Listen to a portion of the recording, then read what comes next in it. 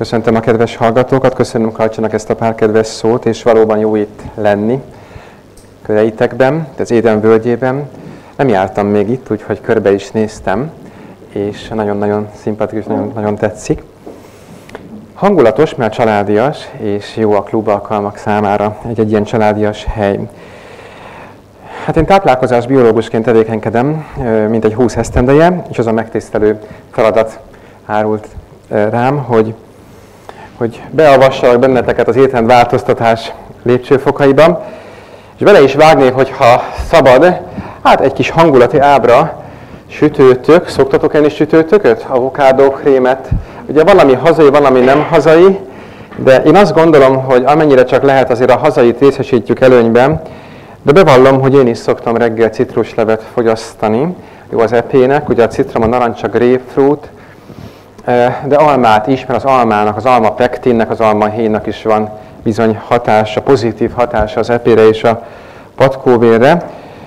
Nos, csak egy-két dia, nem rémizgetésként, jelzésként, hogy egyetemen, ahol én is végeztem, ott ezt oktatják, illetve ezek azok a tananyagok, amikről beszélnek, ugye a menedzser szakirány, a marketing szakirány, nyilván nem azzal a célral, hogy most er, er rémisszenek bennünket, leendő mérnököket, hanem van egy olyan tendencia, hogy egyre inkább a külsőre helyeződik a hangsúly.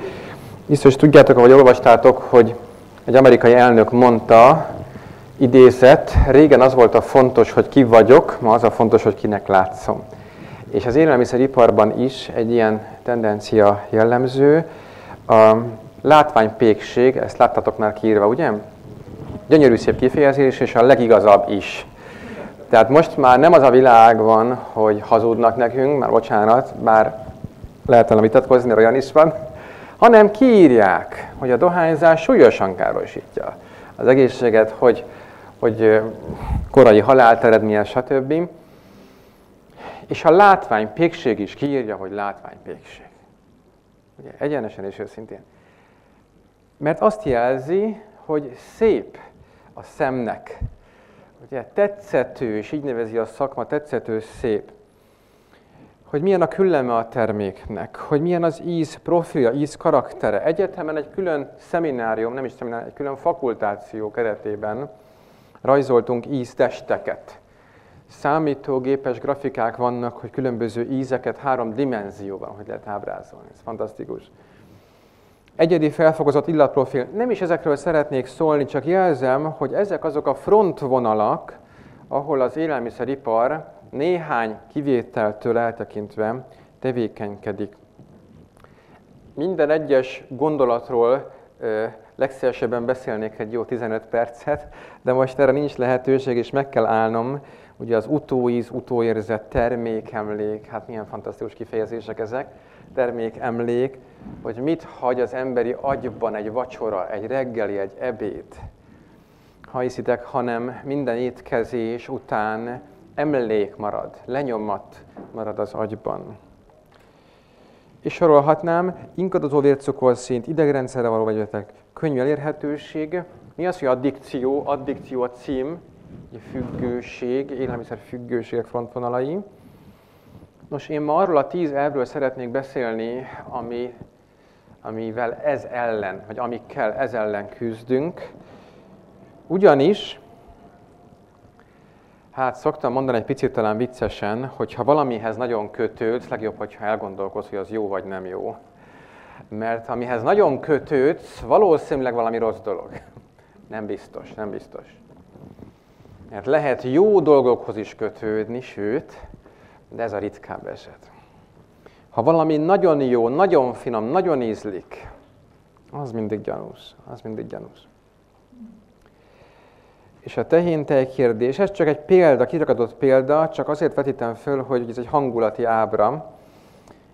De hát ugye házilag nem tehéntejet iszunk főszabályként, hanem növényi tejeket fogyasztunk, Különböző féle növényi tejeket találhatunk ma már az üzletekben, de én gondolom, hogy azért, ha csak lehet, nem az üzletben vásárolunk, mármint mondjuk tejeket, borzasztó drága egyébként a mandula tej, 1% fehérje tartalommal, tehát szinte alig-alig.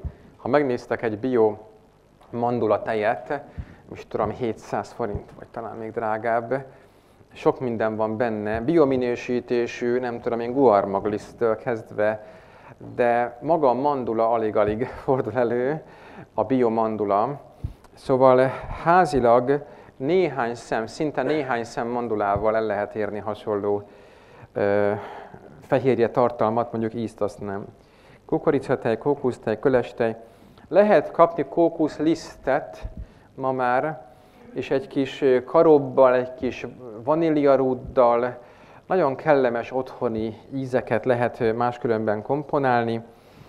Mindezzel csak arra szeretnék utalni, hogy kiváltjuk az élelmiszeripart, megpróbáljuk helyettesíteni, kiváltani. Az az ipar, amely arra törekszik, hogy ő eladjon, hogy mindent, minél több cikket tőle vegyünk. Az egészséges életmódban arra törekszünk, hogy csak a legszükségesebbet vesszük meg az üzletekben, és ebből otthon készítünk élelmiszert. Persze egyik kollégám szokta mondani, Gáborkám, ami 35-40 percnél hosszabb ideig készül otthon, az egészségtelen. Lehetne vitatkozni, hogy, hogy hány percig készítjük az ételt, ugye, mert az sem jó, ha otthon túl sütjük, túl főzzük. Ha megnézitek, gyakorlatilag ott járunk, hogy megveszem az üzletben a nyersanyagot, és otthon alig nyúlok hozzá, nem? És megeszem. Tehát elvileg az egészséges táplálkozás nem igényel sok pénzt, idézőjelben, nyilván valamennyit költeni kell, mert annál drágább a termék, minél jobban fel van dolgozva, ugye? A nyers anyag a legolcsóbb. És ehhez otthon alig-alig nyúlok hozzá, tehát túl sok gázt, villanyt nem igényel. Lényegében natur, kvázi nyers vagy félig nyers termékként fogyasztjuk el, és hát kérem szépen a híres, nevezetes tápcsatorna.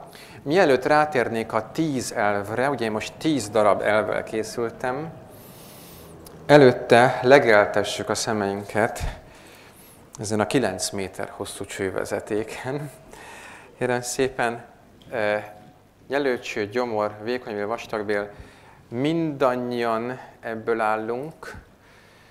Ez az élet, az élet során ugye itt, itt vannak a működések, a kémiai folyamatok, tehát fontos erről beszélgetni, fontos erről gondolkodni. Nyilván tudom, van, aki nem szeret a belső szervekről sokat gondolkodni. Gyomor egy izmosfarú, horog alakú, egy-másfél liter ültartalmú szervünk a gyomor, és tudjuk, hogy a gyomorban az erjedés, mint olyan, az erjedési folyamat nem javasolt. Mit nevezünk erjedésnek? amikor ugye cukorból valamilyen módon ugye széndiokszid képződik, alkohol képződik, szerves savak képződnek, kevert savak képződnek, a gyomor működése tisztába kell lennünk. A következő ábra a hasnyálmirigy ábrája, és látjátok, hogy a gyomor után ugye egy ilyen kanyarulatos rész következik, a patkóbél, és mi ez a kis zöld tasak, ugye az epénk, és az epe hólyagból, az epe vezetéken keresztül ugye ugyanott szájadzik be, ahol a hasnyálmirigy által termelt emésztőnedvek a fatkóbélbe, tehát gyomor, epe, hasnyálmirigy, borzasztó fontos szerepet kap majd ez a szervrendszer, ez a rész, ugye, az emésztés során, és borzasztóan fog számítani majd a táplálkozás a tíz elv szempontjából, hogy ezt értsük, legalább alapszinten érthessük. Jelen szépen vékony bél, egysoros laphámmal, szép tiszta vékony bélhámrendszert látunk. E, valóságban ez nem mindig ennyire szép és ennyire tiszta. Minden esetre ez az optimum, ez az optimális és jó működés. És kérem szépen a vastag bél, amelyre a legtöbb gond szokott lenni, felszálló, haránt és leszálló. Ugye látjuk, hogy a vastagbél felszálló ága a szó szerint függőlegesen megy fölfelé. Eljátszottunk már ezzel a gondolattal, hogy ez mit jelent? Gravitációval szemben menni? És nem is keveset. Ugye a székrekedés hátterében ez van jelen, hogy a felfelé menő ág, ugye ott ráadásul antiperisztaltika is működik, tehát föl és aztán leviszi, mindaddig, amíg bennem indul ugye a besűrűsödési folyamat, a székrekedés itt szokott előállni rost hiányában. Tehát ugye a New Start program azt tanítja a rostos táplálkozást, a nyers vagy párolt, rostos táplálkozást, ezért a vastagbél felszálló ágában nem jön létre a besülési, besülési folyamat, hanem mind a felszálló, mind a harám, mind a leszálló ágban, és még a szigma bélnél is a széklet nedvesség tartalma elég magas marad. Ugye azt mondja a szakma, ha szabad ilyenekről beszélnem, bocsánat, formázottnak kell lenni a székletnek, az semmi, hogyha ha szétfolyik, tehát túl híg, az semmi, hogyha ha repedezett vagy sűrű, ez egy fontos dolog, ugye itt történik a, a besűrűsödés. Ha a víz eltávozik vagy csökken a béltartalomból, akkor mi az, ami megnövekszik? A toxinok, mérgek. Egészségesen táplálkozó ember bérrendszerében vannak-e mérgek? Ugye, mert ez a szó, hogy méreg, ez olyan elriasztó, eretentő. Vannak mérgek a szervezetünkben? Akkor is, hogyha amúgy bioélelmiszereket fogyasztunk, és elmentesen étkezünk? Igen. Nagyon fontos dolog, hogy minden egészséges testben képződhetnek, hát ez a méreg szó, az idézőjeles, metabolitok, anyagcsere termékek, amelyek károsak, igen károsak a testre. Ennek egy részét a máj és a vese. Ugye a vízoltható a vese, zsíroltható a máj, és egy részét pedig a vastagbélye kiüríti. Egy izgalmas, érdekes kérdés, hogy eszünk káposztát, puffadunk tőle? Előfordul. Előfordul. Ha valaki eszik mondjuk állati terméket, húst, tejet, tojást, puffad tőle? A húsevők a hústól szoktak-e puffadni? Tejtől lehet, nyilván aki érzékel, az pláne, tojástól is előfordul, de a húsról nem nagyon olvassátok sehol, hogy az erősen gázképző volna. De ha valaki babot eszik, ha valaki lencsét eszik, akkor rögtön. És érdekes, hogy az emberek fejében gyakran az van, hogy a hüvelyesektől, meg a kábetűsektől én puffadok, de bezzeg a hústól nem puffadok. És ennek a hátterében mi található, vagy mi húzódik? Mi az, ami gázképző a kábetűseknél? Mi az, ami gázképző egy hüvelyes esetében? Rostok, köszönöm. A héj alatti, úgy nevezzük, hogy nem emészthető szaharidok, szénhidrátok, amelyek széndiokszid, hidrogén, esetleg metán, tehát közömbös gázok mellett bomlanak. Úgy nevezzük ezeket összefoglaló néven, hogy prebiotikumok. Prebiotikumok. A csicsóka és a cikória is puffaszt. Csak nehogy azt gondolja valaki, de nyilván nem fogja, hogy ezek egészségtelenek, mert hogy puffadunk tőle. Nem csak gázképzők. És egyáltalán nem biztos, hogy egy élelmiszer egészséges, ha nem képez gázt. Egyébként a húsból mérgező gázok, ammónia és más nitrozó gázok képződnek, a szakma leírja, ezek, ezek rendkívül veszélyes gázok. Csak azért nem érezzük, vagy az, aki fogyasztja a húst, nem érzi, mert a bél, illetve a, a keringési rendszer beoldja, és a májba kerül. Pont azért, hogy ne okozzon vastagbél rákot, vastagbél betegséget. A húsból képződő gázokat a máj közömbösíti és mérettelenít. Ez egy fontos dolog. Ettől függetlenül átkerül persze a húsból képződő anyaga a székletbe is, stb. stb. Ezért most nem foglalkozom. Ez csak egy érdekességként mondtam el, máskülönben az egészséges bél gáztelt, szoktok mondani gáztelt, nyomásra szükség van a bélben? Nyomásra. Igen. Tehát nem, nem ijedünk meg attól, hogy ha, gázok vannak a bélben, nyilván ennek vannak határa és korlátai, de a bélben a gázteltség, a nyomás, az fontos. Ö, akkor van gond a bélben, ha úgy van nyomás, hogy közben székrekedés van el tudjátok képzelni, hogy, hogy megreked a rendszer, tehát van egy ilyen dugószerű képlet, és előtte hatalmas nyomás alakul ki, ezáltal a bél kitágul, szinte fájdalmas. Elvékonyodik a bélfal idővel, kitágul, és divertikulumok jönnek létre. De ha valaki rostosan táplálkozik, és időnként eszik, nem is tudom én, retket, ugye szintén gázképző, kábetűseket és hüvelyeseket, a képződő gázok a rostos rendszerrel nagyon könnyen elbánnak, és nem okoznak divertikulózis, sőt, megelőzik azt, mert a rendszer jól dolgozik és jól működik. Ezért mondtam, hogy önmagában csak egy-két példa, önmagában a gázok nem problémásak, viszont látjuk a divertikulumok az alsó ábrán, hogy létrejönnek, és hogyan jönnek létre. Ugye elvékonyodás, kitágulás, különböző kiöblösödésnek hívja a szakirodalom, kiöblösödés, túlnyomás, és a, a bél meggyengül. Jelen szépen ugye az alapvető ételcsoportok, hát szerintem ez már kisujjatokban van. A gyümölcsök, zöldségfélék, diófélék és gabonafélék. A hüvelyeseket is be kéne soroljuk, hát talán igen a zöldségfélék közé.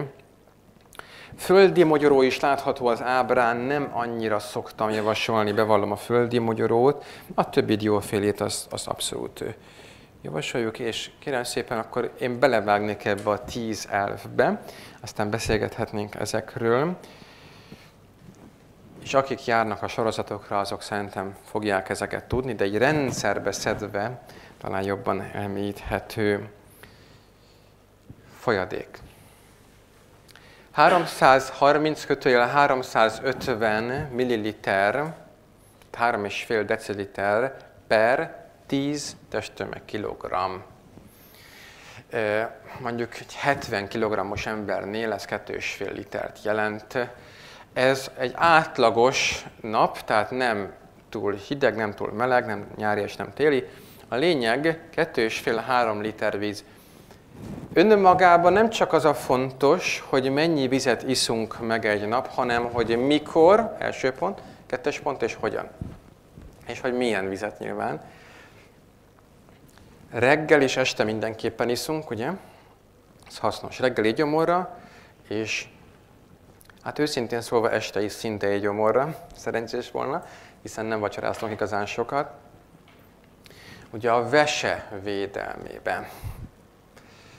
Vesekő, vesehomok képződés egyik nagy ellenszere a reggeli és esti. Mind a kettő fontos, reggeli és esti.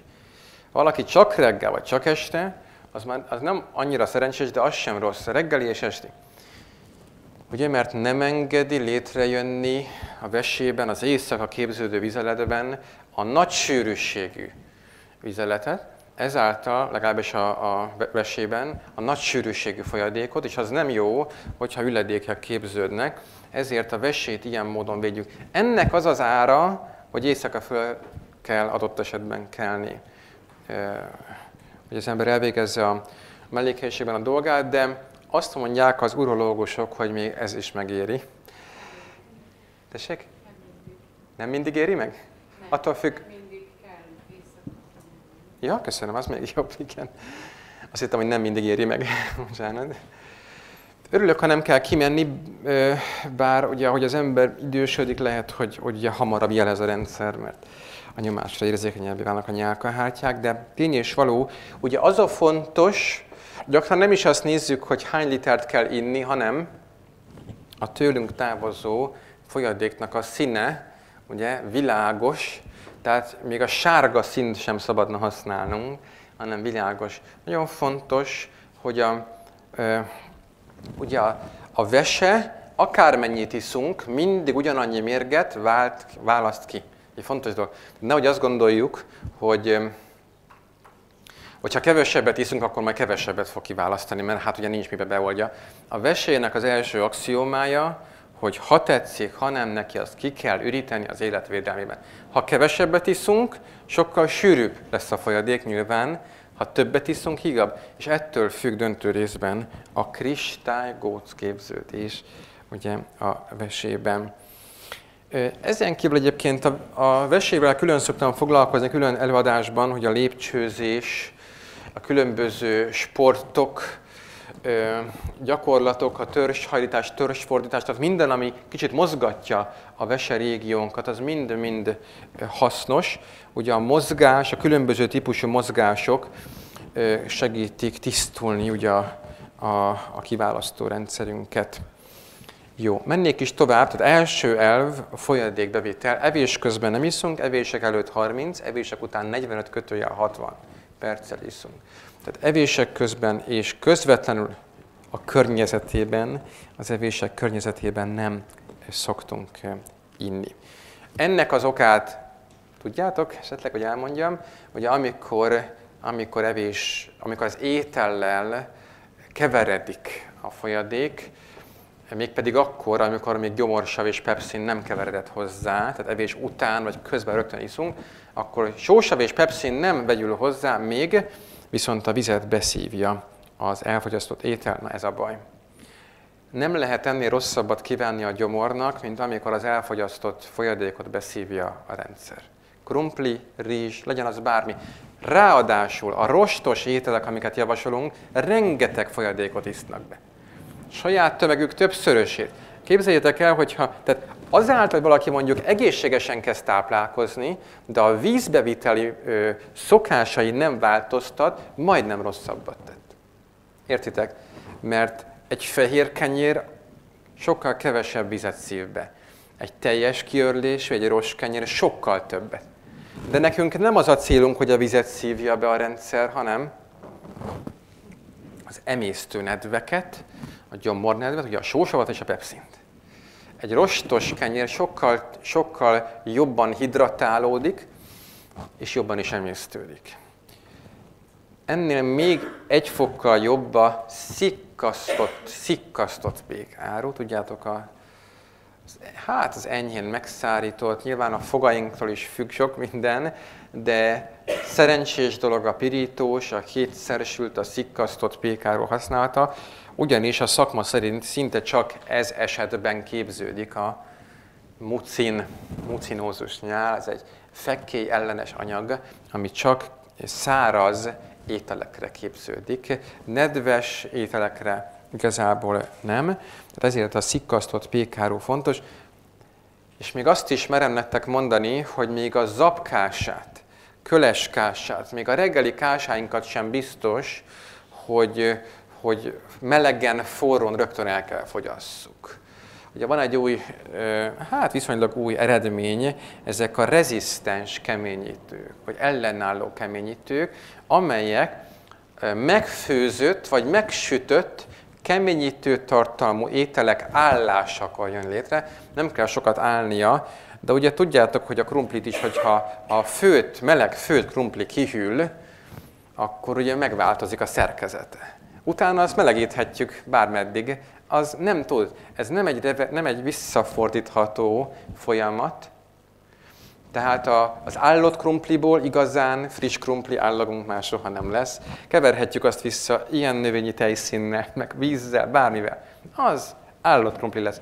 Rezisztens, keményítő szerkezet. Egyetemen oktatják, állott, és az állotton ne azt értsétek, hogy most másnapos vagy harmadnapos, hanem picit hagyjuk dermedni.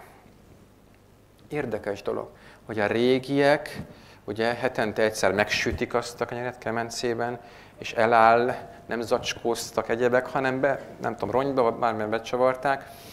Az nem mondom, hogy friss volt, egy picit megszikkad, de az ehető volt, rezisztens, keményítő szerkezet, a legjobb a gyomorra. A legjobb az epének, a legjobb a hasnyálminek, a legjobb a bélnek. Miközben ugye ontják a pékségek a friss pékárút az egész városban, és az emberek ugye mohón veszik, sőt, hogyha most már ugye a legtöbb ilyen szupermarketben és hipermarketben helyben sütik a pékárút, és látjátok, hogy két kézzel kapnak utána, ha meleg, a meleg az áru, akkor azonnal szinte kilépnek a, a bevásárló központból az emberek, és már, már majszolják a kenyérbe lett, mert meleg. Pedig tudja az ember, hogy nem, nem a legjobb, de annyira kellemes illata van, és annyira vonzó. Na szóval minden a folyadéknál kezdődik, de elég messzire elszaladtam most hirtelen. Igen. Ez a, ez az 1-3-3-1 elv, mondhatnám azt is, hogy 1-4-4-1, stb. A lényeg, hogy reggel, délelőtt, délután, este. Hány pohár, ugye az a szám, hogy hány bögre, hány pohár vizet iszunk, reggel egy nagy pohár. Bevallom, hogy én többet szoktam, én igénylem a vizet reggel, tehát én egy pohár vízzel nem érem be. Mondjuk nem így hideg vizet iszom, az tény. És ott az a kis fél citrom, de van, amikor csak, csak anélkül, tehát csak egyszerűen langyos vizet fogyasztok. Három délelőtt, vagy négy, három vagy négy délután, nyilván, tehát, ahogy mondtam, nem ebédkor, nem reggelikor, hanem közötte óránként óránként egy nagy pohár víz, alapszabály, alapelvként mondhatom, és este egy vagy két pohár víz, tehát így jön össze ez a kettő és fél, vagy akár három liter víz is. Ugye a Newstal programban kettő vagy három étkezés szerepel. A két étkezés az kívánatos felnőtt ember számára úgy, hogy a reggeli étkezés nem túl korán van. Tehát, hogyha valaki mondjuk hatkor vagy hétkor reggelizik, akkor, akkor nem fogja tudni tartani valószínűleg a napi kétszer étkezést. Mondom, ez nem erőszak. Ugye a, a régi irodalmakból azt látjuk, hogy bevált a lakosság, a felnőtt lakosság egy részénél a kétszer étkezés, amellett, hogy a szakma négy-ötszörít javasol, hogy azt tudjátok. Négy, többször kevesebb. Zárójeles megjegyzés, a szakma nem mondhatott mást, mert a szakma nem fogja soha tanítani a két-háromszorit, mert a lakosság nem tud mértéket tartani. Ezért a szakma megalkuszik ezzel a helyzettel, és a mértéktelen lakossághoz méretezte a négy-ötszörit. Mert még ez is jobb, mint belakmározni kétszer. És ez tényleg így van. Ezért nagyon óvatosan mondom ezt a kétszeri étkezést, nagyon óvatosan mondom, mert nem hogy mindenkinek való. De aki kipróbálta, és szerintem ül közöttünk olyan ember, aki ezt kipróbált, vagy évek óta így él, az egészségesnek érezheti magát. Háromszor, kettő plusz egy. Azért mondtam a, két, a kettő plusz egyet, mert két főétkezés és egy, egy kevés vacsora, vagy egy, a három plusz egy, három főétkezés és egy nyers étkezés. Azok számára, akik azt mondják, hogy kérem szépen, nekem muszáj egy nap négyszer ennem, mert én így szoktam meg, és én nem fogok tudni át, áttérni a kettő vagy a háromszorira, ott azt javasoljuk általában, hogy a főétkezések mennyiségét csökkentjük, és beiktatunk egy nyers étkezést, mondom, ezek ilyen kis kapuk, a szabad mondanom, kettő plusz egy étkezést szoktuk igazából javasolni. Valaki kétszer étkezik, akkor olyan 9 óra, és délután 3 óra lehet esetleg egy ideális, de ezt mindenkire rá szoktuk bízni. Igen. Tehát reggeli víz, délelőtt víz, délután még estére, csak én sajnos nem bírok belenyúlni ebbe a, az ábrába, de oda még rajzolnék egy pohár vizet estére, és látjuk, hogy édes reggeli, sós ízkarakterű ebéd és sós ízkarakterű vacsora, gyümölcs, gyümölcsös gabona reggeli, és zöldséges, zöldséges ebéd, a hüvelyeseket hova rakjuk? Hüvelyeseket lencse, babfélék, borsófélék. Főszabályként, főszabályként ebédre. Ugye eléggé megkínozza a tábor lakóinkat egy lencse pánsírtomos vacsora. Szóval azokkal vigyázni szoktunk azért. Minden esetre a hüvelyesek általában dél felé hasznosabbak. Emlékeztek, mondtam ezt a bizonyos gravitációs hatást, illetve a puffasztó hatást és amikor az ember a mindennapokban él, akkor ezek a gázok nagyon szépen el tudnak távozni. És ha már mondtam ezt a nem túl kellemes témát, ugye a, a gázokat, egészséges bérrendszerben úgynevezett gázcsatornák jönnek létre. Újszülötteknél még nem, ugye? Ezért vannak, hogy is nevezek azt a kis szerkentyűt? Szélcső, ugye? Köszönöm amikor a babáknál ugye a kólikát, illetve a szeleket eltávolítják. Később, ugye, később a, a gyermek, a fiatal felnőtt és a felnőtt szervezetében már a gáz csatornák kialakulnak rostok esetén. Székrekedésnél nincs gázcsatorna, ezért ugye dugó alakul ki, ahogy mondtam, és aztán másfelé akar távozni a gáz. És divertikulumok alakulnak. Ezt csak zárójelben jegyzem meg, hogy ezért ezek azért sok esetben nem okoznak gondot. Tehát a harmadik elv, visszalépek, emlékszünk-e a második elv, első elv a vízbevitel, második elv, étkezés megtervezése, hányszor akarok menni, és a rendszer szemlélet, rendszer szemlélet, borzasztó fontos. Éppen készítek egy, egy jegyzetet sportolók számára, úgy hozta az élet, hogy, hogy olimpikonok, olimpikonoknak van szerencsém, van lehetőségem előadásokat tartani a jövőben. Ugye most jön a Riói olimpia, hát nem csak a Rio, hanem jön az EB, hogy szabad ilyeneket mondani, ugye az Európa Bajnokság a fotballban, most annyi minden sport következik, és megélénkült a magyar sport élet, úgyhogy jöttek hozzám sportolók, nem túl rég, Bacsa Patrika, valakinek ismerős a név, tehát különböző, hát mondhatnám azt, hogy NB1-ben játszó focisták és mások, és rengeteget beszélgetünk a táplálkozásról, tehát most élénkül ez a, ez a piac, és mondhatom, hogy a rendszer ugye a sportban milyen fontos. Egyébként, amikor, amikor valaki gyerektáplálkozással foglalkozik, a gyerektáplálkozásban fontos a rendszer? Hát hogy ne? Hányszor mondtuk a gyerekeinknek, hogy fiam, ne egyél levés előtt édességet, pontosan étkezzél, ebédidő van, ne chipszezzél délután, hadd ne soroljam. Tehát pontosan tudja a felnőtt ember, hogy a gyermekénél a rendszer fontos. Csak éppen önmagunknál nehezen tartjuk be. Érdekes dolog. Ugye, hogy beszélünk, minthogyha a gyermeknél fontos volna, de a felnőttnél meg megbocsájtható. Minden emberi szervezet rendszerben gondolkodik, rendszerben. Ezért lehet, hogy most nagyon furcsa hangzik, meg ilyen szakmai nyelven, de az emberi testnek rendkívüli, rendkívüli rendszer szemlélete van. Ezt élelmiszeripar egyetemen és más közgázon és más helyeken is oktatják a rendszert. És mikor jönnek létre a menedzserbetegségek, a menedzserbetegségek, és pont a menedzsereknél. Hát ha valaki, a menedzser tanulja meg a rendszert, nem? Hát annak az a szakmája, a rendszer szemlélet, a szervezettség, ugye az a menedzser. És közben a menedzserek betegszenek meg legelőször, menedzserbetegség, ugye a rendszertelenség miatt. Érdekes ellentmondások ezek.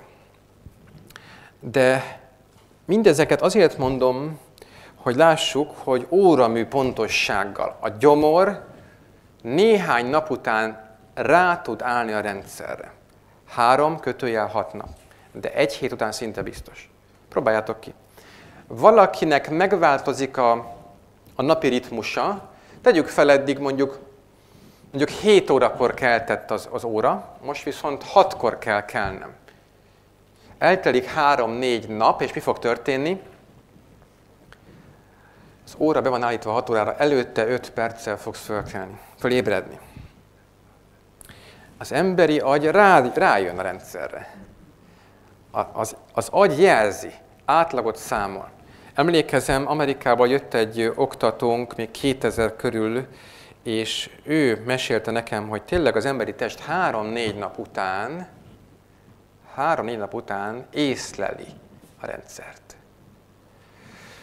De hogy azt mondom, hogy egy hét vagy egy hónap után, az is örömhír, nem?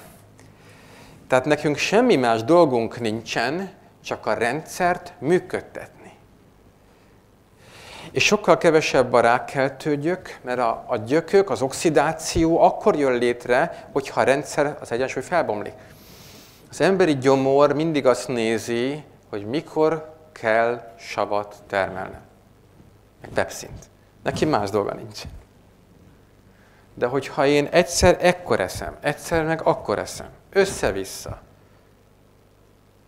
akkor ti mit csinálnátok a gyomor helyébe? Ha egyszer kettőkor, egyszer négykor, egyszer délben, átlagot számol, szerencsétlen. És lehet, hogy akkor termel savat, amikor éppen nem eszem. Ezért én most nem mondom azt, mert hazudnék, hogyha ha engem megkérdeznétek, hogy miért Gábor, te pontosan tudsz enni mindig azonos időben? Hazudnék, hogy azt mondanám, hogy igen. De a rendszer szemlélet itt a fejben fontos. Nekem sem sikerül, szinte két napom nincs egyforma. De a rendszer fontos, és bevallom, hogy ha nem tudok ebédelni, kihagyom az ebédet. Nincs más választása. Mert ez még mindig jobb, mint két óra múlva ebédelni, amikor a gyomor nincs fölkészül, mert vacsora és ebéd között van. Ö, persze ez sem működik azért minden egyes nap, de a rendszer, vagy úgy, úgy szervezzük a napunkat, hogy az, hogy az étkezésekre figyeljünk. Ugye, hogy mikor reggelizünk, mikor ebédelünk. Tehát még egyszer, nem bűn, ha, egyszer-egyszer itt kilengések vannak, de a rendszer ne bomoljon föl. A reggeli és az ebéd rendszere főleg rendkívül fontos. Reggeli. Ma már tudjuk, hogy a vérnyomás, a vércukorszint, a kedélyállapot, a közérzet, az anyagcsere szempontjából a legfontosabb étkezésről van szó, ez a reggeli. Az emberi test 7-8 óra alvás után nagyon várja a reggelit. Senkit ne tévesszem meg, sokan nem éhesek reggel.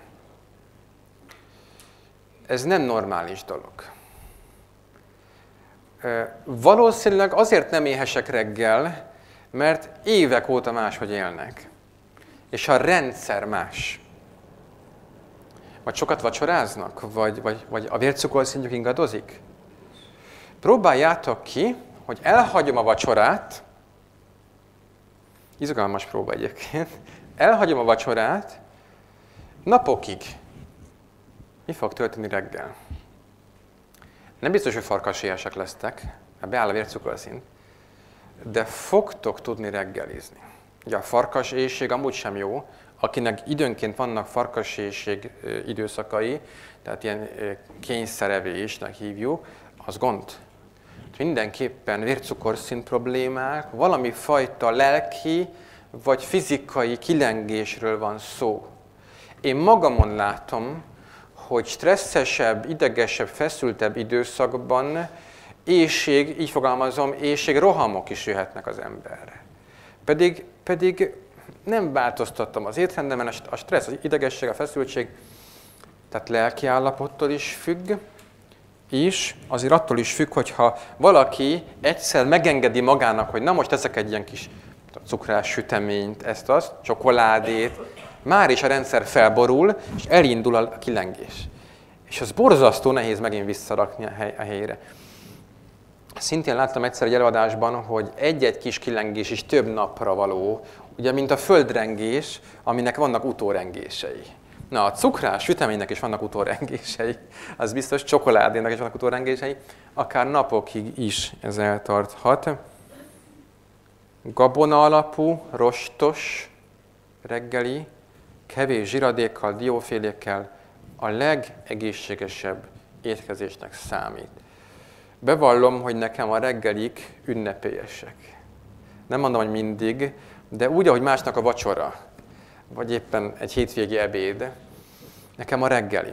Én, én hozzá, tehát rákészülök, átgondolom, mint amikor az ember megtervezi a vacsoráját, vagy az ebédjét, hogy mit fogok ma főzni. Miközben az emberek a reggelit nem tervezik meg, hanem ugye nyitogatják a fiókot, vagy éppen főznek egy kávét, sajnos. Nekünk, ez csak egy személyes tanács, hogy ahogy én gondolkodok, az én fejemben a reggeli főétkezés, amit meg kell tervezünk. Mert ez a fő. Nem mondom, hogy rengeteget kell reggelizni, de a minőség, az összetétele fontos. A jó reggeli befolyásolja a teljesítőképességet, vízfogyasztás előtte, különben elnehezül a fej. Emlékezem, mikor a, hát régen volt egy táborunk törőkoppányban, és a törőkoppányi táborba kitettük az asztalra a mézes üvegeket, hogy mindenki annyi mézet tegyen, amennyit akar. Ugye hát ezt jó indulatulag szántuk a kedves vendégeinknek. És amellett, hogy elég sok méz fogyott a táborban, ami mondjuk egy 150 fős tábornál azért nem akármi, majdnem az egész tábor elbóbiskolt a délelőtti előadásokon, vagy a reggeli, hát 9-től 10-ig. És azon csodálkoztunk, hogy hát először azzal magyaráztak, hogy biztos kimaradt a kávé, ugye, mert hát nem ittak az emberek kávét, otthon meg ittak, stb. Aztán rá kellett jönnünk, hogy néztük, néztük, és az emberek túl mézezték. Túl mézezték a kását. ugye, mert megfőztük natúrakását, volt benne némi kis mazsola, vagy datója, vagy apora vágott valami kis aszalvány, és megkóstolta a gyerek, a felnőtt, hát ez üres, ez, ez íztelen. És nem tudták élvezni azt, hogy egy kis, egy kis magyar jó kis gyümölcsel, dióval, hadd ne soroljam, hanem jó sok mézetet, csak méz, szinte mézíze volt az egésznek. Ugye ez hiperinzulinizmust váltott ki, túl sok inzulintermelést, majd szépen elaludtak, körülbelül pont 9 fél tízre. És hiába adtuk az egészséges jó reggelit, hogyha, hogyha a túl mézezett kásától végül elaludtak. És akkor jöttek megint előadó külföldről is, és emlékszem, hogy fölhívta a figyelmünket egy kedves amerikai oktató, Ron Chamberlainnek hívják, Ron Chamberlain. Ránézett a reggeliző asztalunkra Ron, aki szerintem magasan, életminőség magasan felettünk van, és azt mondta, hogy túl sok a szénhidrát, és túl sok a cukor és esetben a méz, túl sok a méz és a szénhidrát. Mondom sem, hogy Ron, Ron egy fantasztikus ember, egy nagyon vékony testalkatú, és gyümölcsöt eszik diófélékkel, nagyon kevés gabonát fogyasztott reggelit, tehát egész más étkezett, mint mi akkor, és valóban megfigyelte, ránk nézett, és mondta, hogy Gábor, ti mind, túlsúly, ti mind túlsúlyosak vagytok. És nagyon-nagyon azóta is előttem van, amit mond, önkritikával mondom, valóban, akár én, akár a többieken, nekünk soványabbnak kellene lenni. És valóban a szénhidrátokat érdemes csökkenteni. Megyek tovább. Az egészséges reggeli tehát gyümölcsökből áll, gabonafélékből áll, nyilván, ahogy mondtam, nem rengeteg, és ugye látjátok, hogy a, a gabonák milyen formájúak? Jó, mondjuk itt, itt éppen egy amerikanizált, op- optimális ábra van, sárga dinnyét nem biztos, hogy szoktunk reggelizni, de mégis benne hagytam az ábrát. Miben, külön, miben különbözik a kása, vagy a pehely és a kenyér? Miben különbözik? Mind a kettő gabona, ugye? Melyik rostosabb? Élesztő. És ez megint egy elgondolkodtató tényező, hogy nekünk mennyire kell kovászosat, vagy ugye újabb technológiával élesztőset ennünk. Jó az élesztős kenyér? Nem, nem merném azt mondani, hogy nem, mert a jól átsütött barna kenyér, ugye főleg aki ismeri mondjuk Ellen Goodbart irodalmait, a jól átsütött barna kenyér az egészséges, de mondtam ugye a kétszer sültet, mondtam azért azt, hogy még azt is kicsit meg lehet pidítani, de azért csak ott van a reform tudományban, hogy a kovásztalan. Sőt, a Bibliában a kovásztalan kenyerek ünnepe. Ugye? Vagy a zsidó ünnepeken kovásztalan. Ugye nem lehetett a házban semmi erjedt. Ennek lelk jelentőség, ugye a bűn, az erjedés a bűn jelképe a Bibliában, ugye erjedetlen szőlőlé és kovásztalan kenyér úrvacsora. Érdekes, nem, hogy pedig a bor, a misabor elterjed bizonyos körökben, hát az erjedés egy egyértelmű ugye, jelkép, erjedetlen szőlő, tehát must és, és kovásztalan kenyér lelki jelentőség. Visszatérek, nagyon hasznos a kovásztalan, tehát élesztő nélküli gabona adása. És ha megnézitek, a kásáink kovásztalanok, ugye? Ez egy érdekes dolog. Nem kell nekünk mindig kenyeret enni.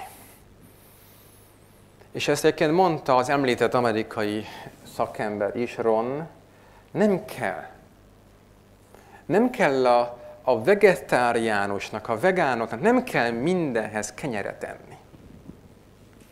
Zöldséget egyetek, azt mondta.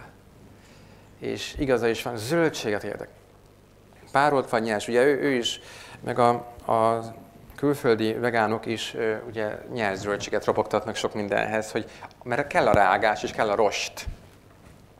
Csak ugye hát én apai ágon erdélyi családból származom, ugye kenyér kenyérre. Tehát olyan nincs, hogy egy, hát ugye van egy, mondjuk egy, egy vegán töltött káposzta, hadd nem megyek messzire, ugye? Dióval.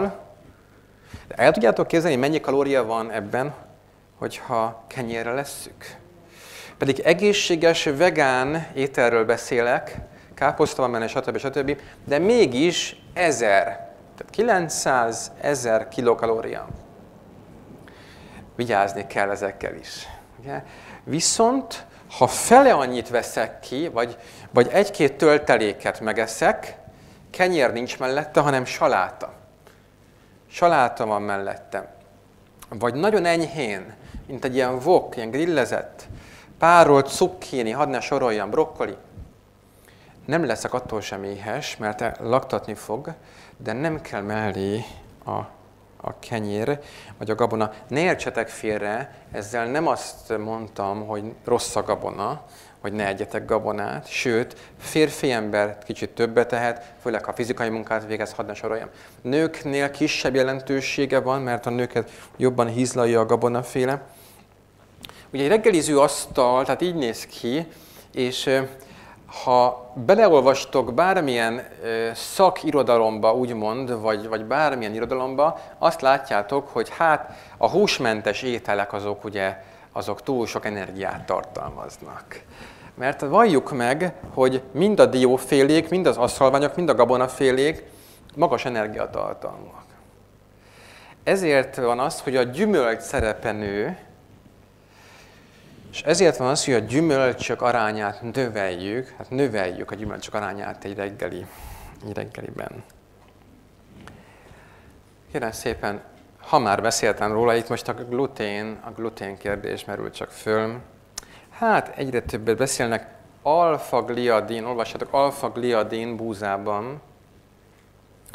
Tehát nincs akkor a baj a zabbal, az árpával, a rozsjal, de a klasszikus búzát hát merem mondani, lényegében tönkretették. Már, már 1996 és 2000 között is az Élelmiszeripari Egyetemen erről hallottunk, de nem szabad erről beszélni. Amíg be nem jött hazánkba ez a bizonyos paleolit, vagy egy-két, hogy az Atkins és más irányzat, addig tabu téma volt. Egyébként ma, ma is, de ha megnézitek, a paleolitot alig-alig cáfolja a gabonaipar. Tehát valamit megszólaltatott a, a paleo irányzat. Bevallom, mi se beszéltünk róla. Egyszer-kétszer megpendítettük, hogy vigyázzunk a búzával. Egy biztos, az újra nemesített búza egyre nehezebben emésztődik, ezért az allergenitása, az ártó hatása, az fokozódik. Tehát ehetünk, valakinek nincsen gluténérzékenysége, bár ez is lett néma. Minden esetre tartunk búzamentes napot. Tehát nincs kenyér és nincs búza pehely aznap, de lehet zappehely, kölespehely, rospehely. Gluténmentes napot is tarthatunk, ugye a glutén, a rozs, az árpa, a zab és a búza, és a tönköly. Ezek glutén tartalmak, tarthatunk gluténmentes napot, amikor kölest, kukoricát, barnarist, hajdinát, krumplit, hát ilyen típusú ételeket eszünk, mint energia forrásokat. És teljes örlés, teljes értékű. Arra figyeljetek, vagy figyeljünk, hogy a, az üzletben ugye most már a különböző, hát Lidli, Aldi, különböző helyeken kaphatóak ezek a nagyon finom ízű, hát ilyen előpirított, előpirított műzlik. Ezeket lehet ropuxatni, kellemes, édes zamatuk van, be lehet áztatni, úgyse rosszak. Viszont, ha nem rágjuk meg jól, akkor befúródik. Akkor, mint a, mint a, mint a csiszoló papír, ledörzsöli a gyomor és a bélfalat gyerekeknél főleg, ugye a szülő előszeretettel vesz a gyerekének ilyen édes, ilyen, hát ilyen keményítő szörpbe forgatott és elősütött. Ugye a szakma megint a helyén volt, vagy hát az inkább az ipar, nem a szakma. Hát rájöttek, hogy ha megpirítom a műzlit, akkor ez a nató íze megszűnik, és lesz egy hát édes, karamelles, édes karamelles íze. Ezért jöttek létre ezek a karamellizált pehely keverékek, de meg kell rágni őket, illetve be kell áztatni, és úgy kell jól meg kell rágni. De vigyázzunk, mert itt is ezek már cukorban gazdagabbak, tehát itt már a glikémiás indexük is magasabb. Tehát be kell valljam, hogy még mindig ott tartok, hogy házi granola, vagy házi sült vagy főtt műzli adása sokkal szerencsésebb. És még egyszer mondom, tehát én is szoktam, sőt, gabona reggelit tartani, bevallom, hogy egyre jobban rágok, én magam is, és egyre kevesebbet eszem, hogy inkább a, a mérték, a mértéktartás rendkívül fontos. Megint egy zárójeles megjegyzés, sport. Aki sporttól, mit nevezek sportnak? 30 percnél hosszabb ideig tartó, pulzus emelkedéssel járó aktivitás, pulzus emelkedés 100 fölött, de inkább 110 fölött, tehát most nem éles sportról beszélek, tehát 25 kötőjel 30 percig 100-110 fölött tartom a pulzust. Ezt nevezem sportnak. Hetente akár többször is.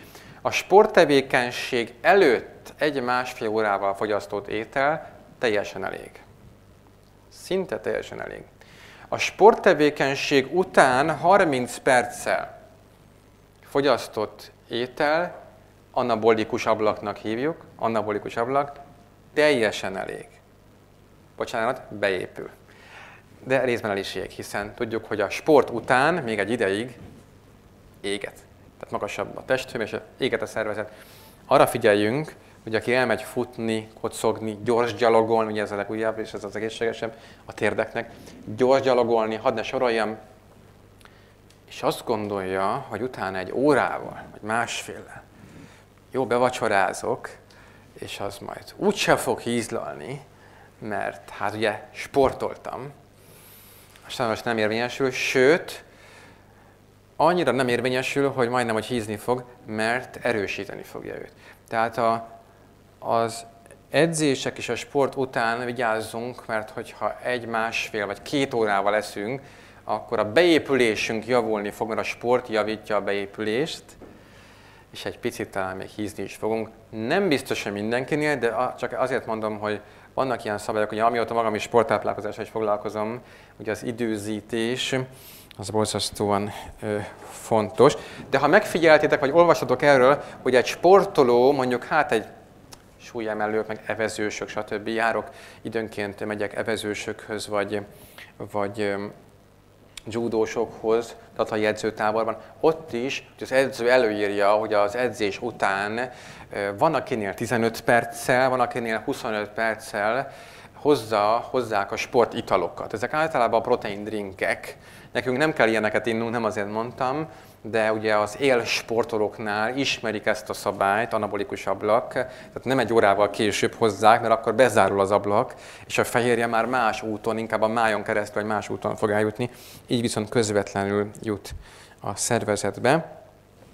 És ha van gyerekünk, fiatal, sportoló gyermekünk, aki, tehát most ti mentek haza, és azt mondjátok otthon, hogy már pedig azt hallottam, hogy ne vacsorázzunk de a kedves gyerekünk éppen jön haza egy másfél órás konditermi edzésről, és azt mondja, hogy anyu, de én fogok vacsorázni, és egy hatalmas vita van a családban, hogy de ne vacsoráz, mert azt hallottam. Sporttevékenység után, tehát merem mondani, fiataloknál szabad, a gyomor is gyorsabban fog üdülni, picit más a helyzet, tehát valaki, valaki délután sokat sportolt de ott sem javasoljuk a késői és nagy vacsorákat, csak jelzem, hogy nehogy emiatt vita legyen a családban. Éppen voltam talán Kiskulacházán, és a polgármester úr kérdezte, hogy ha én sietek hazafelé a munkából, az is sportnak számít? Ugye, mert szeretett volna hát legalitást kapni az esti vacsorához, de nem adtunk neki legálisan engedélyt ehhez. Mondta, hogy kedves polgármester úr, sajnos a hazafelé sietés nem számít sportnak, úgyhogy muszáj még valamit beiktatni. Ötödikkel, vércukorszint borzasztó fontos, az éjségérzetünket befolyásolja. A vércukorszintünk a teltségérzetet, az éjségérzetet, a nassolási kényszert befolyásolja. Ugye a cikória, a póréhagyma, ugye a csicsók, amiről szoktam én magam is többször beszélni, mandula. Étkezés után három-négy szem, nem nagyon több, vigyázzunk, három-négy szem mandula, sokáig való rágással, tehát szó szerint ugye az amúgy is egy kemény mag, három-négy szem mandula, nagyon szeretem az ízét a mandulának, olyan, mint egy édesség. Komolyan mondom, hogyha valaki nem annyira édes szájú, a mandulának van egy édeskés ízem, sokáig rágva szinte, ugye, három-négy szemet, ö, fantasztikusan beállítja a teltségérzetet. Ugye, tehát nem ülünk neki egy csomag mandulának este, hanem így. És fogyókúrában, vagy így fogalmazom, mert nem mindenki akar fogyni, testtömeg megtartás, vagy beállításban, ez egy fantasztikus elv. Máskülönben a dió is. A dió is, a mandula is, a legtöbb dióféle ilyen kis mennyiségben adva, alaposan megrágva étkezés után, majdnem plusz egy-két órát nyerünk vele, hogy nem leszünk éhesek. Ez egy fantasztikus mechanizmus, úgyhogy a mandulával egyébként ezt el is lehet abszolút érni. Nem baj, hogyha tartunk otthon egy kis, egy kis mandulát. Ugye ismert a szakmában, hogy a, az inzulin, illetve a, a vércukorszint beállításban a mandula, mandula részt vesz részt a vállal. vércukorszint, egészséges vércukorszint AB görbe. Látjuk, hogy milyen szépen a lencsefélék, a babfélék, a diófélék, a, a zap, zapkás, az appehely, a köles, a hajdina, mind-mind mind-mind vércukorszint beállítók. És miért is adunk dióféléket a, a kásák mellé? Ez is segíti a beállást. Tehát, tehát nem mézezzük a kását, ahogy mondtam a táborban, hanem inkább, inkább még diófélét adok hozzá egy keveset, mert a dióféle az még jobban beállítja ezt a, ezt a mechanizmust. Úgyhogy ezt javasoljuk, míg a csokoládé evés után látjuk, hogy mi történik, elég komoly, hát ilyen cunami-szerű állapot alakul ki. Hiper, tehát hiperglikémia, látjátok, hiperglikémia, túl magas vércukorszint, és hipoglikémia, alacsony vércukorszint, és amikor a vércukorszintünk mélyre megy, akkor mi emelkedik? Meg az inzulin szintünk. Hát azt írta egy komoly professzor, hogy a cukorevés kettős büntetés a testnek. Az első büntetés maga a cukor, aminek ugye számos káros hatása van. A második büntetés az inzulin. Mert a túl magas inzulin a szervezetben inzulin rezisztenciát vált ki. Ugye a sejtek, ha túl sok inzulint látnak, kialakítják a rezisztenciát, és egyre több és több inzulinra van szükség. Ezért hiperinzulinizmus, tehát lényegében egy rezisztencia. Olvastatok erről, hogy nem csak, hogy a, tehát a cukorbetegség, kettes cukorbetegség előszobája az inzulin rezisztencia állapota, amikor a sejtek nehezen fogadják be a cukrot, és a hasnyálmirigy állandóan ugye, túl termeli az inzulin. A tehéntej adása egyébként ebben szerepet játszik, hogy a, szakma is ír erről, hogy a tehéntej sajnos fokozza a hiperinzulinizmust, pedig nincs benne cukor, ha csak nem tejcukor, és mégis fokozza. Hatodik elv, nyers ételek, rostok. Van egy jó pár hatóanyag, ami csak a nyers ételekben található. Magunk elé tudjuk képzelni, hogy fő a konyhánkban zöldségleves, petrezselyem zöldel. Ugye számos, hát tele van zöldséggel. Hogy milyen illat van a konyhában akkor. Jó illat van. Emlékezem, gyermekkoromat idézi, amikor elmentünk édesapámmal sportolni, népliket vagy máshova, más helyekre, mentünk haza, 12-1 körül értünk haza, zöldségleves illat, de a legfrissebb zöldségből. Ez egy pozitív feeling, amit most mondtam, de most mondom, hogy miért nem pozitív. Mert az összes illatanyag, ami a levegőben van, az mind hatóanyag. Amit én a zöldségleves készítésekor érzek a levegőben, az a nagyon kellemes, petrezselymes, zelleres, hadd ne soroljam, finom, friss illat, annak nem a levegőben van a helye. És nem is az orjárataimban, bocsánat. amikor megszagalom, hanem a gyomromban és a szervezetben.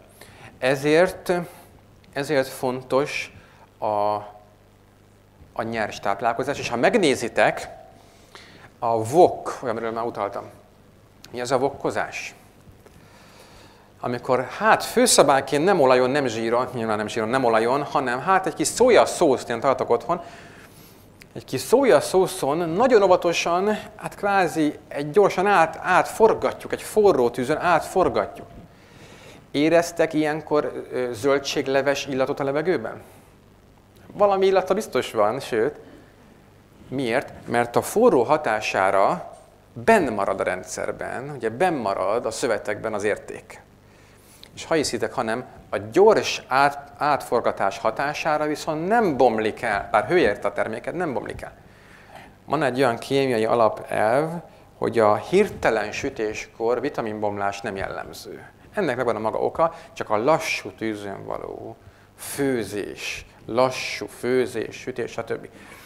Míg a kukta fazékban, a nyomásálló fazékban is, ahol 15 perc alatt kész egy káposzta, próbáljátok ki, hogy biztos aki próbálta már, hogy negyedbe vágom a káposztát, 15-16 perc alatt, mint a vaj puha lesz. Sokkal magasabb lesz a C-vitamin tartalma a kuktában készült káposztának. Pedig sokan azt hiszik, hogy a C-vitamin elbomlik a hőhatására idő függvényében. Azt úgy képzeljétek el, hogy a C-vitamin is idővel, így bomlik, idővel.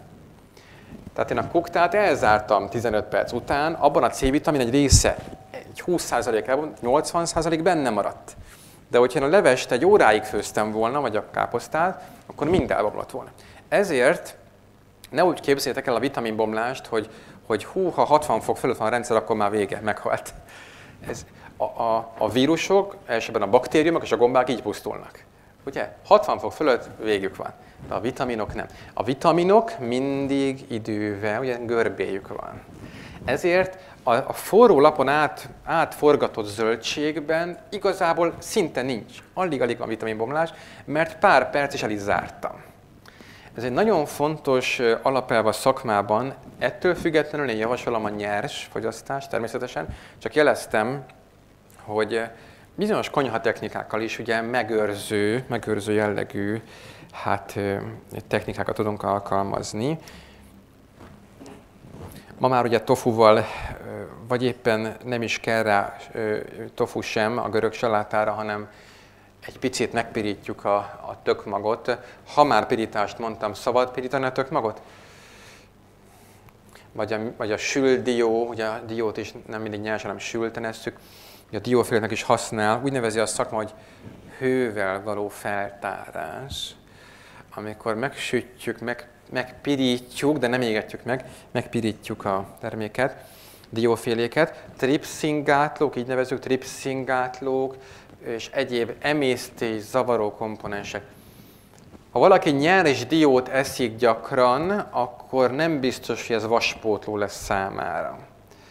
Hogyha a diót megőrli, és belekeveri az apkásába, akkor sokkal több vas szívódik fel. Ugye, mert megőröltem, és megduzzasztottam, belefőztem a zapkásába, és a vas megtalálta a helyét és fölszedett. De egy, egy száraz, nyers diót rákcsálok, ugye egy picit csípős is a szájpadra, tehát nem olyan, nem olyan jól esik, és ma már tudjuk, hogy a tripszingátlak, a nyálkahártya zavaró, sütéskor vagy főzéskor ezek eltávoznak. Még egyszer mondom, hogy vannak élelmiszerek, vagy anyagok, ahol talán szerencsés időnként egy picit így, így megforgatni, meg, megsütni, és hát ugye a mézes sült dió, talán kínai eledel, hát a mézet azért nem sütjük. De a maga a sült dió, ha megtehetitek, hogy egy kis diót ugye elterítek a sütőben, és rásütök, nem égetem le, egy 20-30 percet, olyan kellemes kis sült dió illata lesz, könnyebben emésztődik, nagyon jól szívódik a vas, eltávoznak belőle azok a hőérzékeny, emésztés zavaró komponensek, csak néhány példa, amiket mondok. A gyomorban nincsen lipáz, nincsen zsiradékbontó enzim, ezért vigyázzunk a fehérjék és a zsiradékok együttes fogyasztásával. Nagyon csúnya lesz, amit én most mondok, De a régiek, amikor ettek zsíros kenyeret, akkor megfigyelték a régi parasztemberek, vagy bocsánat, ha ettek mondjuk még rosszabbat ettek, mondjuk szalonnát ettek kenyérrel, de nézzétek meg, hogy a zsiradék mellett szénhidrát volt. Csak később terjed el a jóléti társadalom, hogy hús is van mellette, hús és zsír. Na, az okozta a bajt. Mert annyiszor mondják, hogy de a régiek is ettek zsírt és kenyeret, zsíros kenyeret. Hát persze, mert sem a zsírban, sem a kenyérben nincs fehérje. Igazából. Ezért a gyomorban nem dolgozik a rendszer, vagyis nem, nincs eljedés. Ezáltal még a zsír egyáltalán nem egészséges, szerintem sem. De attól kezdve, hogy valaki mondjuk szalonnás elnézést, kolbászos tojásrántottát csinál, ugye a tojás fehérje ott van, plusz az állati zsír, tönkre megy a keringési rendszer, és a gyomor is, az epe is. Mert fehérje és zsíradék egyszerre lesz jelen. És ez tilos. Egyértelműen ötödik évben elmondta a professzor, hogy kollégák erre vigyázzanak. Fehérjét és zsíradékot együtt. Kettes típusú cukorbetegséget kiváltó hatása lett. Miért? A gyomorban nincs lipáz, nincs zsíradékbontás, de van fehérjebontás. Ha zsíros, olajos ételt eszek, de vigyázzatok, rántott tofu. Ez egy vegetános étel. Mondjuk valaki azt mondja, hát én, én reformos vagyok, és bőolajban süti, tehát nem sütőben, mert a sütőben sült rántott tofu az egészséges szerintem. De az olajban sütött, tehát nyílt lángon sütött, mondjuk rántott tofu, ugye a tofuban sok a fehérje, szója, fehérje, olaj, na most ez meg fogja ülni a gyomrunkat. Ezért nem jó a hasnyálmirigynek, és a bármilyen ilyen ételt teszünk, ne felejtsük el, tartsunk otthon egy kis paradicsompürét. Szerintem. Ha, ha olyan helyre mentek, hogy látjátok, hogy nehéz ételről van szó, egy kis paradicsom sűrítmény, paradicsom püré, tehát nem ecet, nem mustár, nem erős paprika, paradicsom püré, ugye az segíti az emésztést. Nézzétek meg, hogy az olaszok, akik ugye, hát ugye a pizzát feltalálták lényegében, ugye a gombás ételekhez adnak ugye paradicsomot. A milánói makarónihoz. És miért adnak a gomba mellé paradicsomot? Szinte a legtöbb olasz étel. Megfigyelték, hogy a, hogy a gomba nehezen emészthető. És a paradicsommal meg sokkal könnyebben emészthető. Nem pótolja a gyomorsavat, de gyorsabban emésztődik. A magyar ember mit csinál? Rántott gomba, rántott sajt, és mondjuk tartármártás, ugye? Nincs paradicsom. Tartármártás, borzasztó. De még vegetáriánus, ha bementek egy étterembe, vegetáriánus étel gyanánt ilyet találtok, ugye rántott sajt, rántott gomba. Vigyázzunk ezekre. Visszatérek, hogy a gombát én nem tartom veszélyesnek, csak vigyázzunk, a gyomor kétszer emészti a gombát, kétszer termelása van. Ezért a paradicsomnál viszont csak egyszer, tehát úgy tudjuk, hogy így sokkal szerencsésebb, tehát segíti az emésztést. Hidegen sajtolt zsiradékot használunk, amennyire lehet nem főzünk, nem sütünk vele, nagyon óvatosan bánunk vele. Kókuszsírt hetente csak egyszer-kétszer használunk, de azt nem tartom rossznak, és hát az eredetentő példa ezt nem is hagyom fönt. Ezt, ugye ez, ez borzalom. Tehát kérem szépen hidegen, hidegen sajtolt hidegen sajtolt olaj, mindegy a márka, ez egy régi, régi dia, és hát az olaj szerintem terápiás étel. Hát terápiás anyag. Cseppekre van szükség belőle, vagy mokkásganára, de bevallom, hogy én, én ingyenc vagyok, tehát szőlőmagolaj, kendermagolaj, tökmagolaj, kukorica, csíraolaj, egy kis fokhagymával, egy kis vegamixel, nem sózom túl, egy kis vegamixel, tehát nem tartom veszélyesnek, sőt, ugye tudjuk, hogy a zsiradékok idegszövetpótlók, idegszövetfejlesztők, mert egyik másik zsírsav a véragygáton is átjut. Omega-3, stb. Ugye ilyen a szőlőmag, ilyen a... Hát most már olyan világban élünk, hogy egészen sokféle olajat találtok a forgalomban de drága, kömény magolaj, um, mik vannak még, segítsetek. Maga, igen, igen, csak ilyen speciálisra gondolok, hogy petrezselyemolaj, ugye szinte csak, mákolaj, köszönöm, ilyen, ilyen spray-szerű képződményekkel fújják a külföldi főzés, főzőfilmekbe az ételekre, rá, rá ilyen aeroszol formában. Szóval én nem vagyok olaj vagy zsírpárti, ne úgy értsétek, zsíradékpárti pláne nem, tehát, mert az nehezít az emésztés, de igenis szükség van az epe működés miatt is, az ételek íze miatt is, szerintem, de cáfoljatok nyugodtan, tehát lehet vele vitatkozni, hogy egy kevés olajra, zsíradékra szükség van, hogy működjön ugye a rendszer, és az idegsejtjeink, a sejtfalak, foszfolipidek is szépen tudjanak épülni és fejlődni. Nos, igyekszem, mert az időm szerintem, húha, nagyon lejárt, bocsánat, bélflóra. Ez megint egy külön nagy téma. A bélrendszerben élnek több száz milliárd számra bélbaktériumok, őket magától nem képződik újra, időnként be kell telepíteni egy antibiotikum vagy más kezelés után. Valakinek allergiája van, bőrkiütés, bőrpirosodás, stb., akkor bélflórára is lehet gyanakodni. Magyarországon ugye az akadémiai terméknek számít a Protexin, vagy a Progastro, ugye az műszaki egyetemi fejlesztés, Progastro, de találtok többféle készítményt. A lényeg, hogy nézzük meg, hogy hányféle kultúra van rajta, vagy benne. Hát szerencsésen 4-5-6 féle kultúra van benne. Tisztulás, méretelenítés, ugye bio, biomassa a szervezetben, ez nagyon-nagyon rossz. Utifű maghéj, egy kedves szakács barátom mondja, hogy olyan finom pudingokat készít utifű maghéj örleménnyel. Hát nekem még szokni kell, de meg kell tudni vele bánni, mert az folyamatosan szívja a vizet, sűrűsödik még a hűtő, meg hideg víz hatására is. Nem olyan, mint a pektin, hogy csak, csak meleg hatásra, vagy sav hatásra.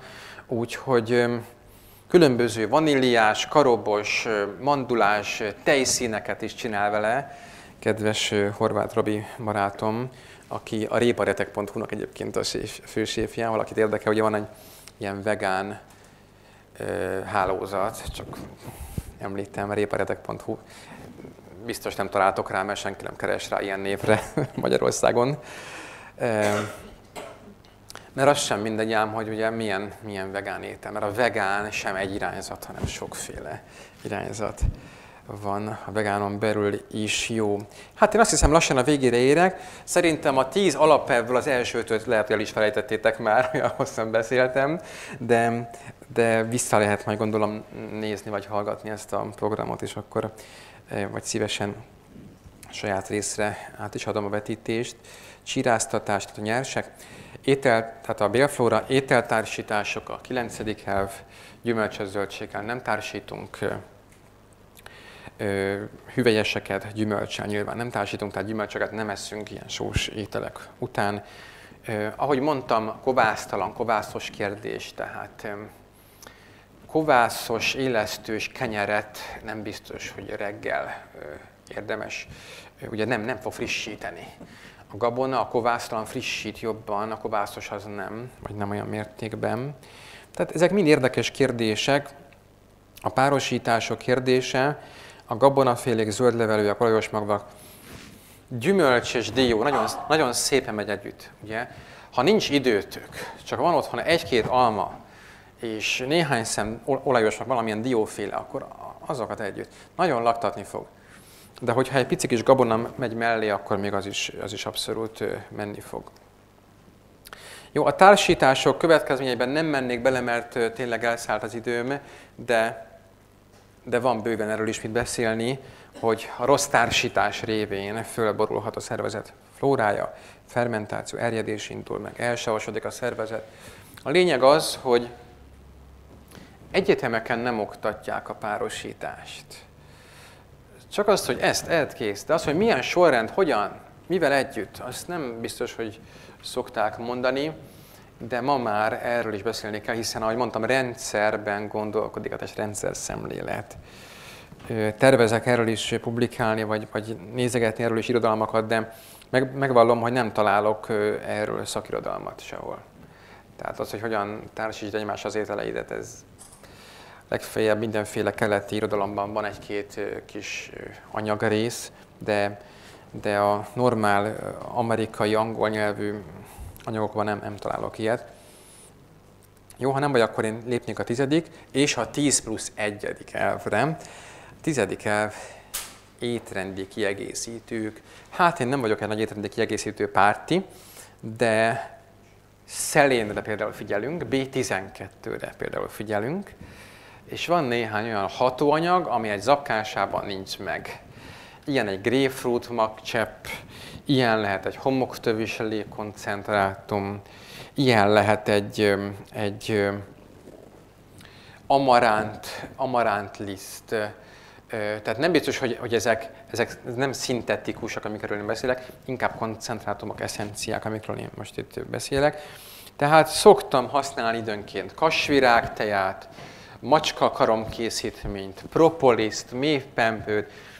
Bevallom, hogy nem, nincsenek fixa ideáim, hogy most ezt kell, meg azt kell, de a rotációt nagyon szereti a szervezet.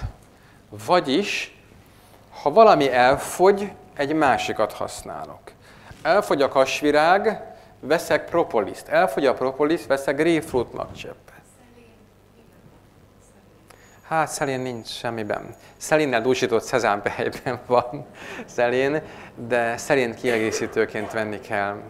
Úgy képzeljétek el, hogy a szelén egy hatalmas antioxidáns mechanizmus középponti eleme és szelén nélkül a glutatión peroxidáz enzimrendszerünk működésképtelen.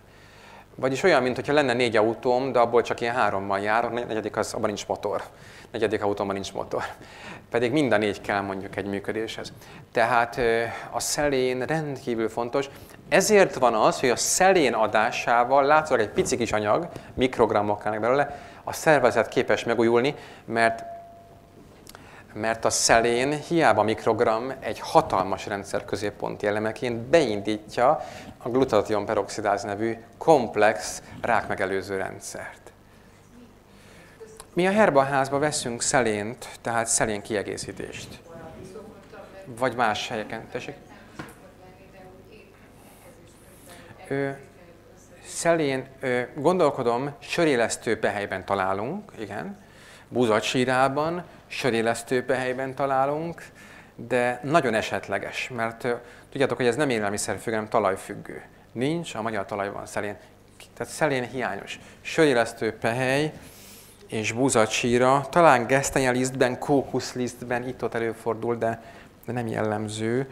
A sörélesztő pehelyben is, ugye nem azért van, mert a, a, abban amúgy is van, hanem ugye a sörgyártáskor, de ne jegyetek meg, ez nem, nem tartalmaz semmilyen alkoholt, csak ugye, a, a, ugye adják a tápsókat a, az élesztő fejlődéséhez, ezért a sörélesztő pehelyben marad vissza tápsó, és azt, azt ő, ő hasznosította, és az benne van. Bevallom, hogy a sörélesztő pehelyt az egyik legfontosabb anyagnak tartom egy vegán étrendben. Tisztítás és légkúra, ez, a, ez az extra bónusz elv. Nos, igen, évente tartunk egy vagy két tisztító kúrát. Amúgy sem tesz rosszat az akaraterőnknek. Hazudnék, ha azt mondanám, hogy én nem küzdök meg egy lébőjtöt. Nem olyan egyszerű ez a kérdés. Tudjátok, hogy az emberi szervezet, az emberi, hogy mondjam, idegrendszer, az emberi testben vannak olyan ösztönös vágyak, amik, amik ugye rosszra viszik az ember. Az egyik ilyen az éjség. És Ellen Goodwhite sokat ír arról, hogy aki az, aki az éjségen urá tud lenni, az majdnem mindent megnyert. Ezért stratégiai fontosságú a táplálkozás, az éjség, hát nem leküzdése, mert az éjséget nehéz leküzdeni, kézben tartása.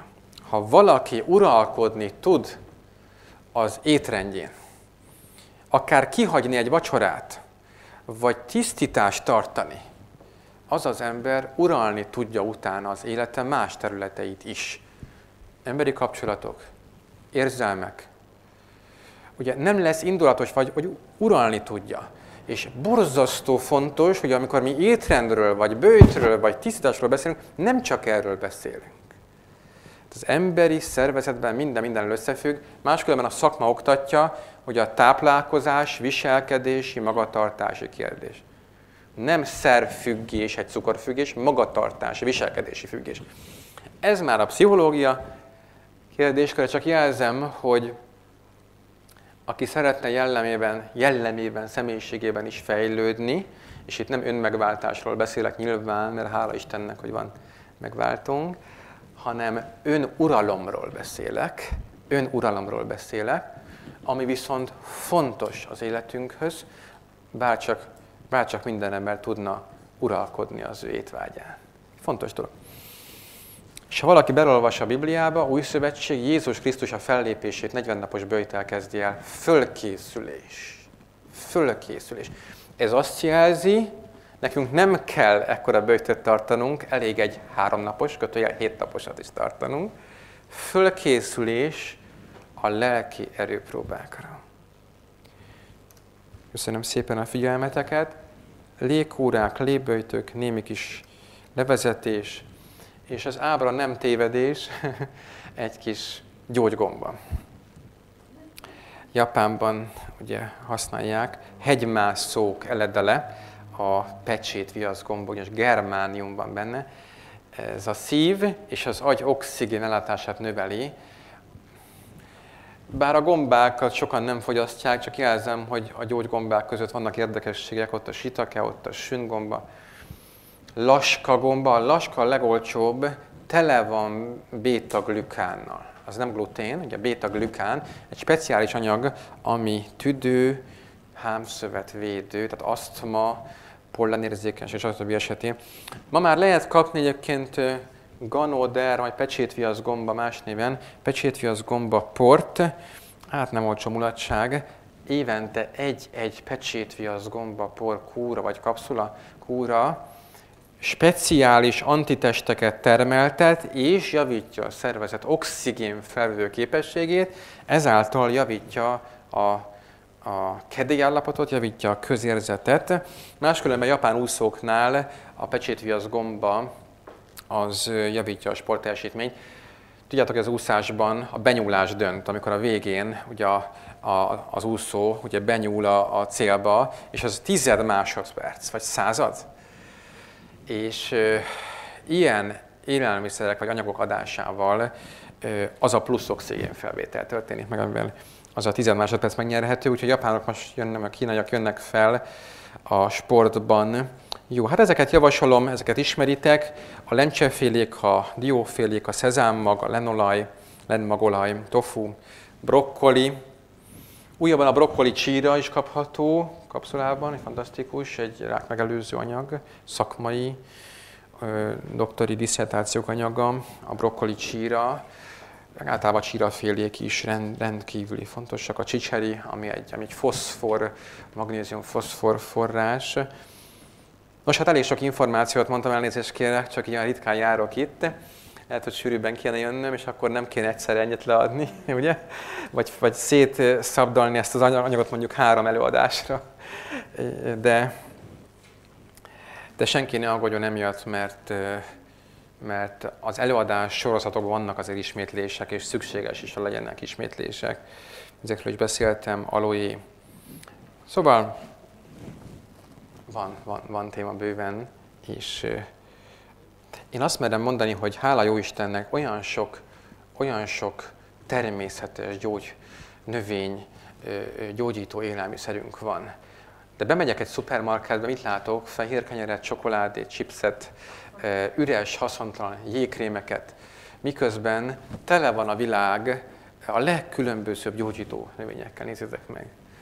És hiába van 40 ezer féle élelmiszer egy Tesco-ban, az összesen 10 nyersanyagból készül, csak különböző elszámokat adnak hozzá. Tehát a nyers anyagok azok nem 40 ezer féle nyersanyagból készül, hanem csak másként rakták ezeket össze. Levezető diák, felsorolások, torma, szőlőmag kivonat. Ugye ezekről szóltam, visszatérnek, virág, hát virágpor. Tavasszal, ilyenkor februárban nem rossz egy virágporkúra, ugye egy immunizáló virágpor, propolis pláne, és aztán kezdhetjük a sárga répalékúrát is, ha akarunk, ami karotinnal és luteinnel tölti fel a bőrszövetet, és ahogy a szemnek. Ugye azt tudjuk, hogy a sárgarépában nem a karotin az igazi hatóanyag, az csak egy ilyen futottak még kategória, a lutein, lutein ami, ami fantasztikus, az javítja a szemet, nem a karotin magában, hogy a kettő együtt, karotin és lutein együtt. Ezért a sárgarépa szószt, bevallom, csináljuk otthon, készítjük, sárgarépa szószt készítjük, és különböző még fasírtokhoz is, egy tökmag fasírt sárgarépa szószal szinte alig igényel hozzá köretet, ha csak nem zöld köret, saláta azért kell hozzá. Nagyon-nagyon jól tud esni az embernek, ha éhes. Van-e valakinek kérdése, vagy hozzá fűzni valója az előadáshoz? Tessék, parancs, Anna. Hát, nem de, de ahhoz minden nap, tehát a szelént minden nap kéne bevinnünk, a fokhagymát minden nap kéne ennünk. Nek, hát, én, igen, nincs akadálya végül is. Lehet. Ö, fokhagymák között is van különbség. Ugye ezek az új nemesített fokhagymák, amiket hát főként Kínában hoznak be, ezek kérdésesek, de van, fokhagymában lehet szelén, igen, csak a gyors termesztésekben félek, hogy nagyon, nagyon nincs. A gyors, most a gyors fokhagymák vannak. Igen. Tessék.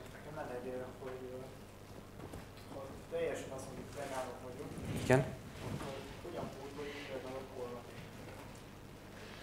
Kollagént külön nem szükséges szerintem pótolni kollagén formájában, hanem a, a zabban van valamennyi ö, értékes anyag, olyan ö, anyag, ami jó a porcoknak, illetve a hüvelyesekben lévő anyagok, hüvelyesek, a csicseri borsó, sárga borsó, vörös lencse.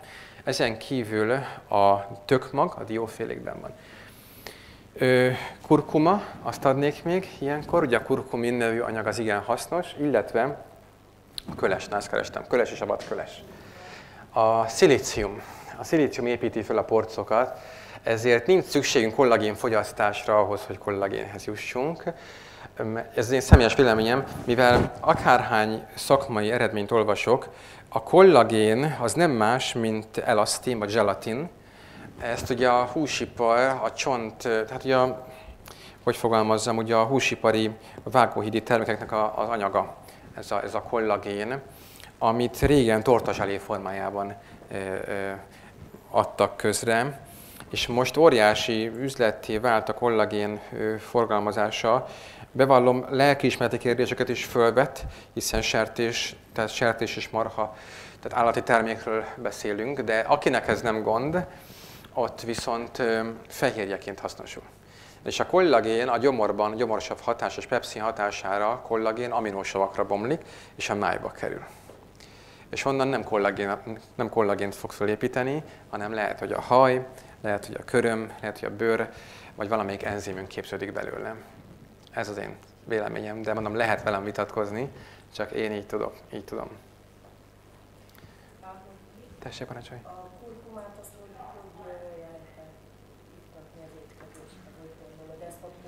Étkezéshez adjuk hozzá a kurkumát, vagy kapszulás formában fogyasztjuk, vagy étkezéshez adjuk hozzá, csak nem főzünk, nem sütjük, ha lehetséges. Hát poralakban, vagy kapszulás formában vásároljuk. Uh-huh. Azt akarom kérdezni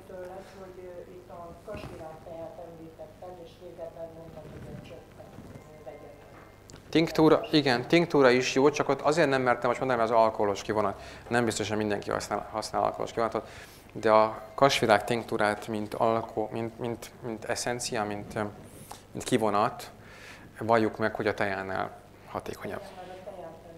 Mhm. Egyébként az alkoholnak a 90-95%-a el is párolog valaki egy, tehát nem kell ahhoz forró tejába csöppenteni, de egy langyos kézmeleg vízbe csöppentve egy tinktúrát az alkohol néhány perc alatt teljesen eltávozik. Reméljük, hogy a hatóanyag pedig visszamarad Igen, van. Van, tehát aki óckodik ettől nyilván azok számára, igen. Ja, és a gréfúcsapet meg mondtam, igen. logika szerint igaz. Tessék, és aztán majd hátra is adok szót, tessék. Igen. Sörgyártás melléktermékeként az élesztő, az élesztőt kiszeparálják, szárítják, örlik, így készül egyszerűen. Ez egy inaktív, tehát ez már nem tud erjeszteni. Egy inaktív formáról van szó, és a sörgyártás során ugye a sörben számos vitamin, B-vitaminok főleg, és egyéb fitokemikália képződik, és adnak hozzá ugye sókat is, tehát ásványi sókat. A végül ez a, a söréresztőben koncentrálódik, és ezért egy magas B-vitamin tartalmú, B12 kivételével, magas B-vitamin tartalmú és nyomelem forrásként is szolgáló anyag a sörélesztőpehely ebből készül. Ez nem más, mint Saccharomyces cerevisiae törzs, csak nem ugyanaz, mint a pékélesztőben, hanem egy picit más genetikai változat. Sörgyártásban segítő, ő erjeszt. Igen. Inaktív, nem erjesztő forma, ami kapható, de hasznosnak, én hasznosnak tartom. Tessék.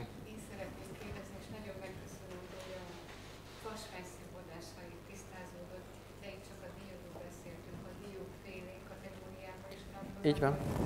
A máknál is így van.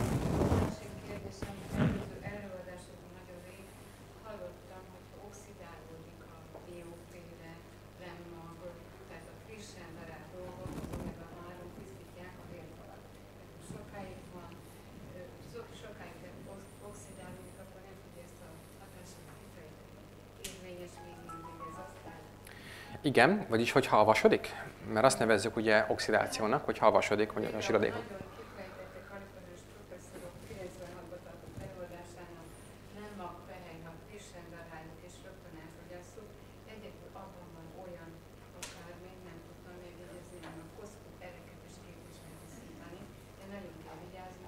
Így van.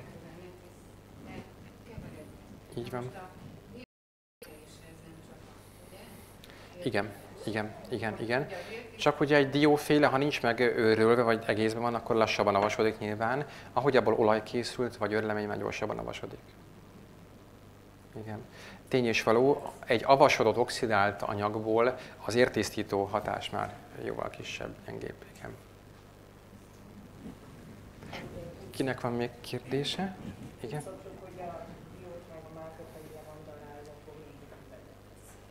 Így van, így van. Mély hűtött, így van, így van. Tehát fagyasztjuk, fagyasztjuk a dióféleket, így van. Köszönöm. Melyiknek? Cink? Cink.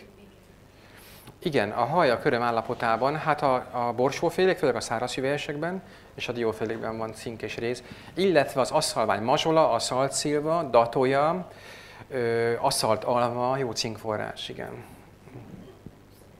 Tessék? Igen?